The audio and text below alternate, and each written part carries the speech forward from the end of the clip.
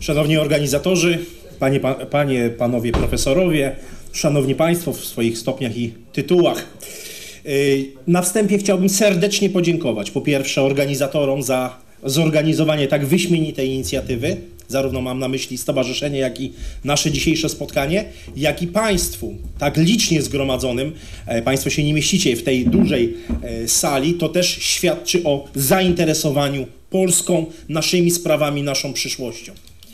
Ja dzisiaj chciałbym powiedzieć kilka słów na temat sytuacji geopolitycznej państwa polskiego, stanu naszego bezpieczeństwa i oczywiście szanując formułę przy- zaproponowaną przez organizatorów, e, postaram się powiedzieć kilka słów e, moich subiektywnych, co robić w zakresie szeroko pojętego naszego bezpieczeństwa. Chociaż sytuacja nie jest prosta, to jest truizm. Szanowni Państwo, nie mam najmniejszych wątpliwości co do tego, że nawigatorzy państwa polskiego dzisiaj obrali kurs na wojnę, na wojnę z państwem związanym Rosji. Nie mam najmniejszych wątpliwości, że polityka zagraniczna państwa polskiego, zwłaszcza polityka wschodnia po roku 1999 jest polityką konfrontacyjną. Jest polityką w pełni podporządkowaną interesom obcego mocarstwa. Jest w pełni podporządkowana interesom mocarstw anglosaskich. Przede wszystkim oczywiście Stanom Zjednoczonym, ale wiemy doskonale, że Stany Zjednoczone budują całą sieć swoich partnerów, senior partnerów, junior partnerów, jakbyśmy tego nie nazywali. Wiemy doskonale, że Wielka Brytania, Australia, Nowa Zelandia, Kanada, takie państwa są dzisiaj traktowane bardzo po partnersku ze Stanami Zjednoczonymi i Stany Zjednoczone od roku mniej więcej 2008 zorientowały się, że niemożliwe jest utrzymanie liberalnej hegemonii na świecie bez wprowadzenia nowych konfliktów, bez rozpoczęcia nowych konfliktów. Krótko mówiąc, bez Eurazji. Nie ma tak, ponieważ rok gospodarczy lat 2008-2009 hegemonię Stanów Zjednoczonych. Amerykanie byli absolutnie dominującym mocarstwem po 1991 roku, aż do tego kryzysu, kiedy pękła ta bańka na rynku nieruchomości w Stanach Zjednoczonych. I wtedy Hillary Clinton, już jako sekretarz stanu w roku 2011 ogłosiła ten słynny zwrot ku Azji tak zwany pivot na Pacyfik. Amerykanie po 10 latach zdali sobie sprawę, że głównym beneficjentem globalizacji i przystąpienia do Światowej Organizacji Handlu jest Chińska Republika Ludowa. Wielki popłoch wśród amerykańskich strategów spowodowało oświadczenie przewodniczącego Xi Jinpinga z listopada 2013 roku o budowie nowego jedwabnego szlaku, o jednym pasie, jednej drodze, czyli zjednoczeniu Eurazji gospodarczym, powiązaniu Eurazji y, wszystkimi połączeniami logistycznymi, handlowymi, gospodarczymi.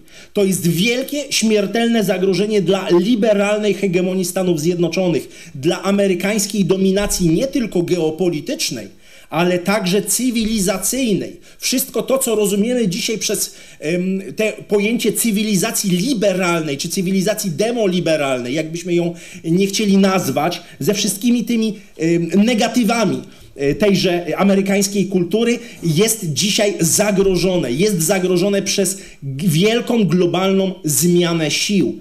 I od roku 2008 Amerykanie robią bardzo wiele, aby podpalić Eurazję. Doskonale obserwowaliśmy to od końca roku 2010 z apogeum w latach 2011-12. To, co zostało zupełnie niesłusznie nazwane tak zwaną arabską wiosną, czyli tak naprawdę próbą podpalenia Magrebu i Bliskiego Wschodu.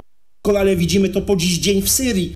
Widzimy, co Amerykanie zrobili z Libii. Widzimy doskonale, co zrobili z Syrii. E, Widzimy e, to, co zrobili w Serbii w 1991 roku, jeszcze wcześniej. Widzimy, co zrobili w Afganistanie w 2001 roku, czy przez te 20 lat najdłuższej przegranej przez Amerykanów wojny. Widzimy, co zrobili w Iraku. Amerykański uniwersytet Brown University prowadzi program badawczy pod tytułem Costs of War, czyli koszty wojny. W Polsce o tym się w ogóle nie mówi. Sami amerykańscy badacze podkreślają, że w latach 2001-2021 w wyniku wojen napastniczych prowadzonych przez Stany Zjednoczone zginęło ponad 900 tysięcy ludzi. Ponad 900 tysięcy ludzi zostało zabitych w wyniku bombardowań, w wyniku tortur, w wyniku wojen domowych, w wyniku rebelii, w wyniku głodu, chorób, epidemii. I to jest hegemon, który chce narzucać dzisiaj Europie i Eurazji i całemu światu y, normy moralne, normy etyczne. Absolutnie na to nie może być zgody. Absolutnie na to nie może być zgody. Szanowni Państwo, i widzimy to doskonale, że dzisiaj Amerykanie są zdesperowani. Zdesperowani. Mniej więcej od 2015-16 próbują wcielić w życie to, co pięknie expressis verbis, czyli wprost powiedział dr George Friedman, bardzo mocno promowany w Polsce amerykański strateg, który w 2016 roku na łamach Chicagowskiej Rady Spraw Globalnych powiedział, że Stany Zjednoczone są zainteresowane w tym, aby stworzyć, cytuję, kordon sanitarny między Niemcami a Rosją. I to zostało uruchomione, szanowni państwo, samym 2016 roku w postaci inicjatywy Trójmorza. Przecież Trójmorze, tak zwany trójkąt lubelski, a ostatnio nowa propozycja rządowa Polska Bałtyckiej Ósemki to nic innego jak próba właśnie tworzenia amerykańskiego kordonu sanitarnego, który ma z jednej strony naciskać na Niemcy, a z drugiej strony osłabiać Rosję. Ale to jest za mało dla Stanów Zjednoczonych, ponieważ ich hegemonia naprawdę się kruszy. Mają coraz większe problemy wewnętrzne, bardzo poważne problemy wewnętrzne. W związku z tym widzimy, jak mocno ingerują w przestrzeń e, postsowiecką. Widzimy doskonale, ile miliardów dolarów, co zresztą przyznała Wiktoria Nuland, wpompowali w Ukrainę. Przecież wojn, ten konflikt w Ukrainie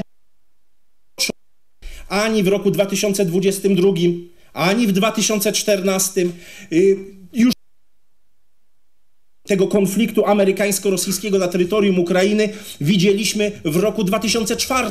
Pomarańczowa rewolucja i udział polskich polityków yy, ramię w ramię z neonazistami ukraińskimi na zachodniej Ukrainie. Na to absolutnie nie powinno być zgody. Natomiast widzimy, że Amerykanie starają się oddziaływać w przestrzeń postsowiecką, starają się bić Rosję, starają się rozerwać taktyczny sojusz rosyjsko-chiński. I e, od, przez ostatnie 8 lat Amerykanie wpompowali miliardy dolarów w armię ukraińską, w ukraińskie służby specjalne, w ukraińską gospodarkę. I to, co dzisiaj obserwujemy, to nie jest, szanowni państwo, tylko i wyłącznie wojna rosyjsko-ukraińska. To jest proxy war, jak mówią Amerykanie. To jest wojna zastępcza Stanów Zjednoczonych, ich sojuszników z NATO i tych spoza NATO, bo mówimy tutaj także o tym sojuszu pięciorga oczu, tych państw, które wymieniłem. Nowa Zelandia, Australia, Wielka, Brytania i Kanada. Oczywiście Wielka Brytania, Kanada są, są w NATO. E, z, e, z, z, Rosją, a pośrednio także z Chinami. O to idzie gra, szanowni państwo. Tu nie, chodzi, ty, tu nie chodzi o to, że walczy się o demokrację, o prawa człowieka. Nie. Tu są twarde interesy geopolityczne. I niestety w tej koncepcji, którą zaprezentował i Zbigniew Brzeziński, nieżyjący już amerykański geostrateg i George Friedman, Polska ma być zderzakiem strategicznym, zaraz za Ukrainą. Świetnie to opisał profesor Brzeziński w swojej książce Wielka Szachownica. Polecam Państwu, myślę, że większość z Państwa słyszała o tej książce, ale polecam sięgnąć do niej, sięgnąć po nią, ponieważ ona nie straciła swojej aktualności. Ukraina jest tam wymieniana jako stworzeń geopolitycznych. Gdyby, gdybyśmy zamienili to słowo stworzeń, bardzo żargonowe, akademickie, na słowo zderzak, to zobaczymy, że absolutnie ta polityka jest realizowana. Dzisiaj Ukraina jest amerykańskim zderzakiem. Celem Amerykanów jest maksymalne osłabienie Rosji cudzymi rękami, w tym przypadku rękami Ukraińców. Tylko, że siła Ukrainy już bardzo mocno maleje. Maleje, już są problemy z, mo z, mobilizacją, z uzupełnieniami i e, jeżeli sięgniemy po książkę Brzezińskiego, to tam jest napisane bardzo wyraźnie, jeżeli Ukraina zacznie słabnąć bądź upadnie, kolejnym stworzeniem, czytaj, zderzakiem geostrategicznym staje się Polska. I e, widać tutaj bardzo mocne ciśnienie, bardzo mocny nacisk na to, aby Polska włączyła się do tego konfliktu, aby Polska weszła y, nie tylko w postaci wsparcia y, prawda, w, we wsparciu humanitarnym, w sprzedaży Ukrainę, w sprzedaży węgla, i tak dalej, ale aby wojsko polskie wzięło udział w tej wojnie. I to jest realne, śmiertelne zagrożenie dla państwa polskiego. jako oficer rezerwy, jako porucznik rezerwy, który wielokrotnie, kilkunastokrotnie był powoływany na różnego rodzaju ćwiczenia. Ja nigdy jako żołnierz zawodowy nie służyłem, ale byłem na wielu szkoleniach, kursach, nie jeden poligon zwiedziłem w, w Wojsku Polskim i wiem, jak dramatycznie wygląda system szkolenia rezerw w Wojsku Polskim. Jak dramatyczne są zapóźnienia. Wiemy również doskonale, że Polska nie ma systemu obrony cywilnej. Potwierdziły to dwa raporty Najwyższej Izby Kontroli z 2012 roku i z 2019 roku. Polska nie jest przygotowana, jeśli chodzi o zapewnienie bezpieczeństwa zwykłym ludziom. Nie wiem, czy Państwo sobie zdajecie sprawę, ale 23 czerwca bieżącego roku w Sejmie odbyło się spotkanie jednej z podkomisji, na której wice administracji oraz obecny wtedy komendant główny Państwowej Straży Pożarnej przyznali, że w Polsce miejsce w schronach ma 3% populacji. 3% populacji. W polskim prawie budowlanym nie ma definicji schronu. Nikt nie zadbał przez ostatnie 30 lat o definicję schronu. Nie, a w tych 62 tysiącach budowli, które można uznać za schrony, bardzo często nie ma urządzeń filtrowentylacyjnych, nie ma całej infrastruktury i logistyki, która jest niezbędna do przetrwania ostrzału rakietowego, bombowego. Nie mówiąc o zagrożeniu nuklearnym, bo przecież takie zagrożenie potencjalnie jest i musi być brane pod uwagę przez każdego decydenta w Polsce.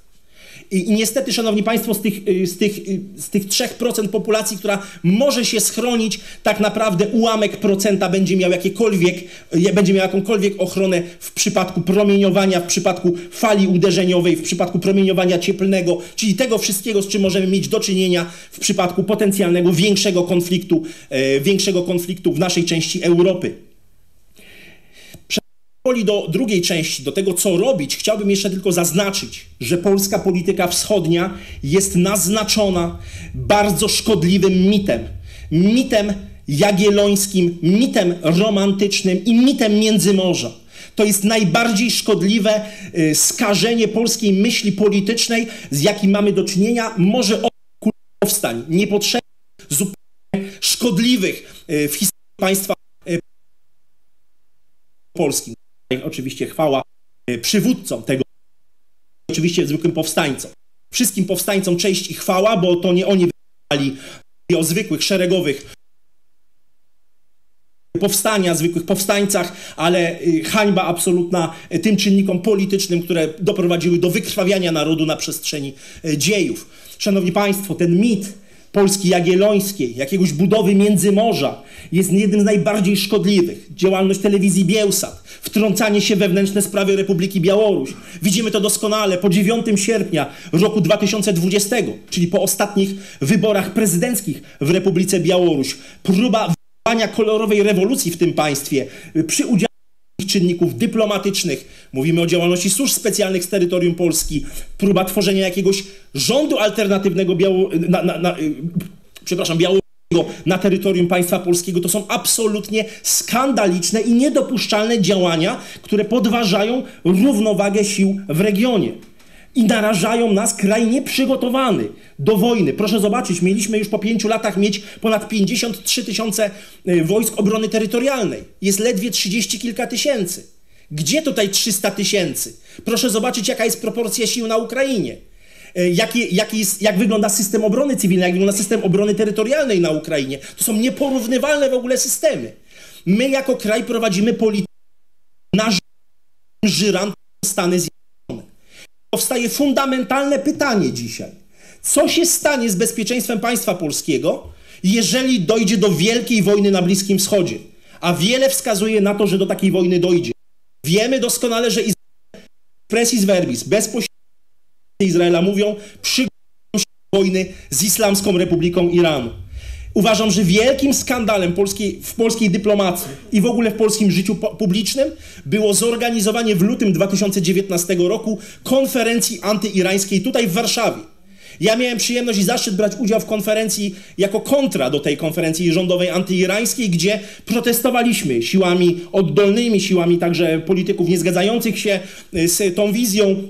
Protestowaliśmy jako naukowcy, jako przedstawiciele środowiska akademickiego, ale widzimy, widzimy, że ta próba wciągnięcia Polski już nie tylko do wojny z państwem związkowym Rosji i Białorusi, ale na drugi front do wojny na Bliskim Wschodzie jest coraz większa. Jest coraz większa. Ja się pytam, zadaję publiczne pytanie. W jakim celu szef sztabu generalnego Wojska Polskiego, y, generał Rajmund Andrzejczak, y, w tym roku odwiedził Izrael? Przypomnę tylko, że Izrael nie jest członkiem Sojuszu Północnoatlantyckiego. Przypomnę tylko, że Izrael nie jest członkiem NATO. Y, dlaczego Wojska Polskiego, nie informując o szczegółach, ja nie mówię o tych ogólnych, o tych ogólnikach sprzedawanych opinii publicznej, odwiedził Izrael? W rewizycie tydzień później szef sztabu sił obronnych Izraela, bo taka jest nazwa oficjalna sił zbrojnych tego państwa, przyleciał do Polski i pierwszą, pierwsze swoje kroki skierował do Muzeum byłego niemieckiego nazistowskiego obozu koncentracyjnego Auschwitz-Birkenau, gdzie zaatakował prezydenta Iranu. Szanowni Państwo, z terytorium państwa polskiego jest werbalnie atakowany prezydent Iranu przez, jedne, przez najwyższego dowódcę Izraela. Pytanie, jaki Polska ma w tym cel? Generał Kochawi, Awiw Kochawi, bo o nim mowa, odwiedził również Warszawę. Pytanie, w jakim celu? Mamy do czynienia z dziwnymi negocjacjami polsko-izraelskimi, e, poprzedzonymi e, konferencją sprzed 3,5 roku, e, antyirańską, która każe postawić dzisiaj pytanie, czy Polska jest przewidywana do udziału, a jeżeli tak, to w jakim stopniu i w jakim charakterze w wojnie z Iranem? Bo o tej wojnie oficjalnie powiedział były już premier Naftali Bennett, powiedział Lapid, tym minister obrony mówi o tym generał Aviv Kochawi. W tym roku odbyły się największe, jedne z największych w historii Izraela ćwiczenia wojskowe pod kryptonimem Rydwany Ognia, które symulowały lotnicze, potężne, zmasowane uderzenie na, na Iran. Oczywiście pod pretekstem uderzenia w instalacje, yy, instalacje rzekomo służące do broni, do broni jądrowej. I trzecie zagrożenie czyli potencjalny konflikt na Indo-Pacyfiku, potencjalny konflikt między Chinami, oczywiście Chinami właściwymi, a Tajwanem i między Chinami a Stanami Zjednoczonymi. Co się, proszę Państwa, stanie, jeżeli dojdzie do wielkiej wojny na Bliskim Wschodzie, do konfliktu na Indo-Pacyfiku? Czy Amerykanie, którzy od 2011 roku robią pivot na Pacyfik, robią zwrot ku Azji, będą tak samo bronić Polski jak Izraela? Będą tak samo bronić Polski jak Tajwanu? Tak samo będą bronić Polski jak Korei Południowej? Czy zostaniemy z tym bałaganem sami? Nieprzygotowani, bez systemu obrony cywilnej, bez absolutnie y, sił zbrojnych, które są gotowe do pełnoskalowej wojny. A przypomnę tylko, że na Ukrainie jeszcze pełnoskalowej wojny nie ma. Dopiero ona może być. Niestety jest bardzo wielce prawdopodobne, że y, przekształci się to w wojnę pełnoskalową. Co robić? Szanowni Państwo, dwa poziomy, które można sobie jako zwykły człowiek wyrazić. Poziom państwowy i człowieka. W poziomie państwowym musi nastąpić radykalna zmiana polityczna. Musi nastąpić odejście od funkcji klienta Stanów Zjednoczonych. Musimy odejść od funkcji wasala Stanów Zjednoczonych. Inaczej nie będzie żadnej niezależnej polskiej polityki zagranicznej, polityki bezpieczeństwa. Polska jak tlenu dzisiaj potrzebuje polityki wielowektorowej, której rdzeniem, fundamentem jest zasada zero wrogów wśród sąsiadów. Podkreślam, zero wrogów wśród sąsiadów. To jest fundamentalna zasada.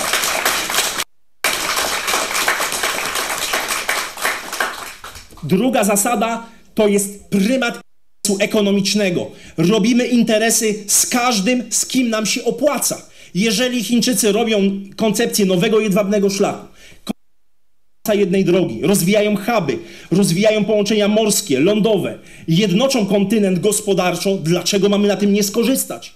Leżymy w takim położeniu, leżymy w takim miejscu Europy, mamy takie położenie geograficzne, że, że bycie po zachód, północ, południe, nowy jedwabny szlak, nowy bursztynowy szlak, to jest nasza racja stanu. Nie może być tak, że ambasador amerykański mówi nam, z kim mamy handlować. Tak nie może być.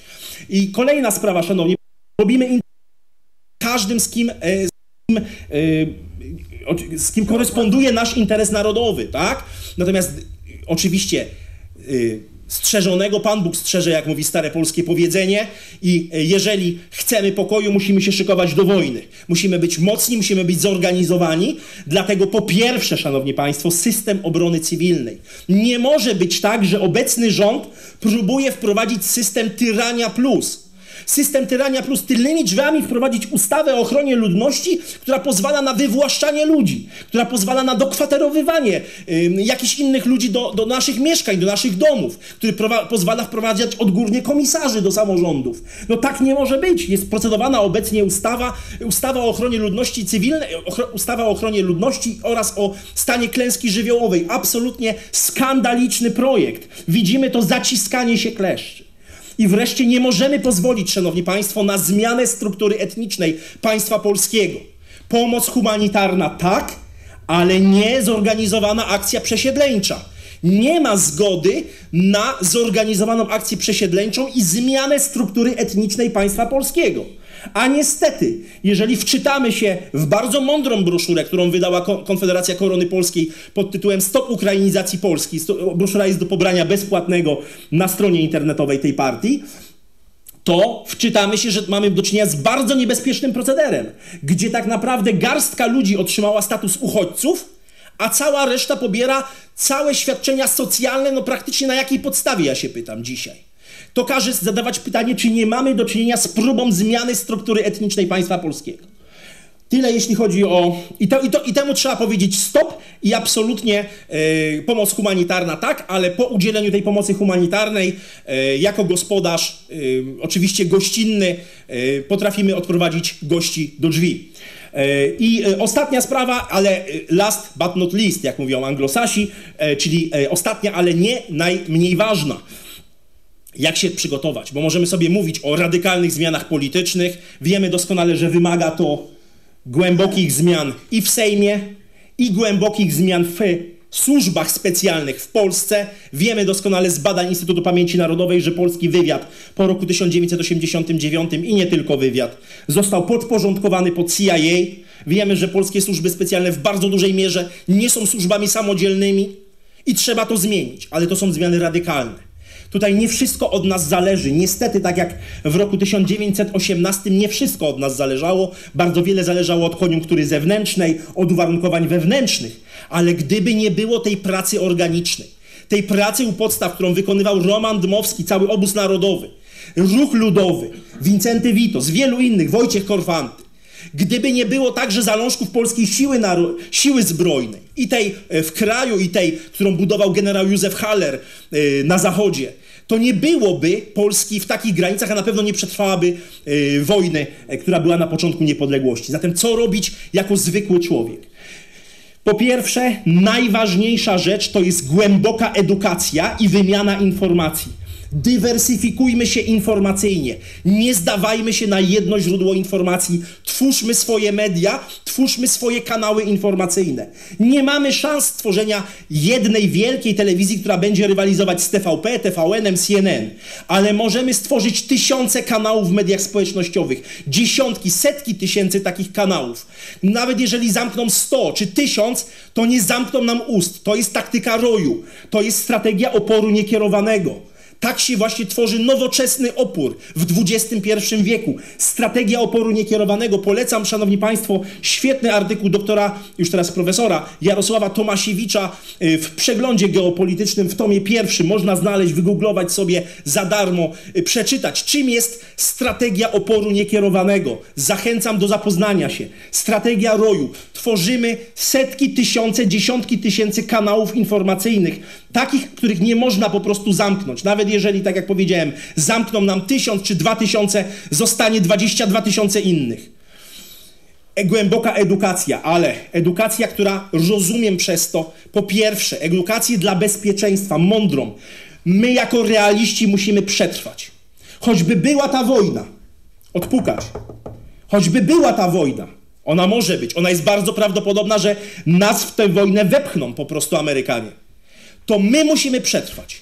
Dlatego warto dzisiaj przygotowywać się, mądrze myśleć na zasadzie przetrwania, robić zapasy, interesować się stronami związanymi z szeroko rozumianym y, przetrwaniem w warunkach czy to miejskich, czy to wiejskich, robić zapasy żywności, wody, jedzenia, lekarstw, środków y, łączności i tak dalej, i tak dalej. Nie będę tego rozwijał, bo jest materiał na moim kanale. Jeżeli ktoś z Państwa chce, jest specjalny materiał, jak przygotować się na czas kryzysu i wojny właśnie na kanale y, na, na YouTubie, póki ten kanał oczywiście jest. E, druga sprawa, Szanowni Państwo, to jest edukacja, głęboka edukacja polityczna i geopolityczna. Bez wiedzy nie zrobimy nic. Musimy być mądrzejsi niż e, ci e, niezbyt lotni e, dziennikarze. Bardzo często spotykamy się z dziennikarzami, z różnego rodzaju publicystami, których IQ e, jest równe temperaturze otoczenia, którzy próbują nam wmówić, że w naszym interesie jest przyjmowanie milionów migrantów, że w naszym interesie jest pójście na wojnę z Putinem, bo przecież Putin już nie ma broni, nie ma rakiet, Putin nie ma skarpet dla żołnierzy, nawet nie ma onuc dla tych żołnierzy rosyjskich, a co dopiero jakiegoś uzbrojenia, więc Rosja jest słaba i trzeba Rosję dobić, dobić tego niedźwiedzia, czyli to jest usprawiedliwianie wejścia wojska polskiego na, e, na, e, na Ukrainę. Nie wolno do tego dopuścić, dlatego tak ważna jest nasza samoedukacja, od tego, od, od, y, ostatniego tygodnia października rusza Akademia Geopolityki, platforma e-learningowa, darmowa, w 100% darmowa, gdzie będzie, będą, będzie na, na początek kilkanaście, a następnie kilkadziesiąt, kilkaset wykładów niezależnych od YouTube'a, niezależnych od Facebooka, od tych wszystkich wielkich korporacji, Zebraliśmy środki na to, uruchamiamy w, jeszcze w tym miesiącu Akademię Geopolityki. Zachęcam do kształcenia się w tym zakresie i do uświadamiania w swoich małych ojczyznach, w swojej rodzinie, kręgu znajomych. Jeżeli ktoś jest wierzący, praktykujący w jakimś swoim em, wspólnocie religijnej, czy to w parafii, czy w innej, e, w innej formie, w zależności od wyznania, warto uświadamiać. Dlatego, Szanowni Państwo, już kończąc, patrzę na organizatorów, historii nie zmieniają masy Historię zmienia zdeterminowana mniejszość, świadoma, mądra, która wie czego chce, która ma jasny cel, która jest w stanie zapalić innych do swojej wizji. I tacy ludzie mogą zmieniać rzeczywistość. Nie idźmy na tę wojnę. Dziękuję bardzo.